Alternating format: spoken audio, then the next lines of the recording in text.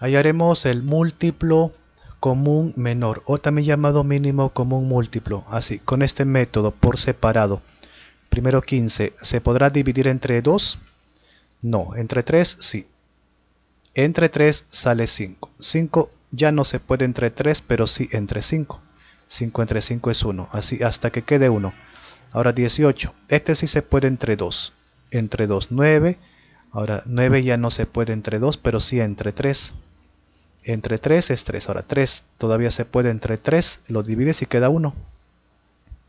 ¿Qué queda de este lado? 3 por 5. 3 aparece una vez nomás ese lado, 5 también. Ahora por acá aparece 2 y 3. 2 aparece una vez y 3 aparece dos veces, así en el exponente pones. Ahora vamos a colocar todas las bases, todos los que están así debajo, pero una sola vez, o sea sería el 2, el 3 y el 5. Una sola vez cada uno. Ahora, el número 2, ¿cuál es su exponente mayor? A ver, acá no hay 2, pero acá sí, ¿verdad? Como solo hay un 2, ponemos el exponente que tiene.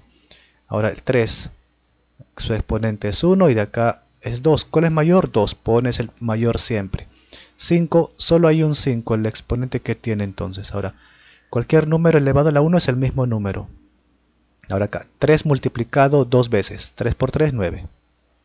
Acá 5 nomás, ¿verdad? Porque está con exponente 1. 2 por 9 es 18. Y 18 por 5 es 90. Así que 90 sería la respuesta.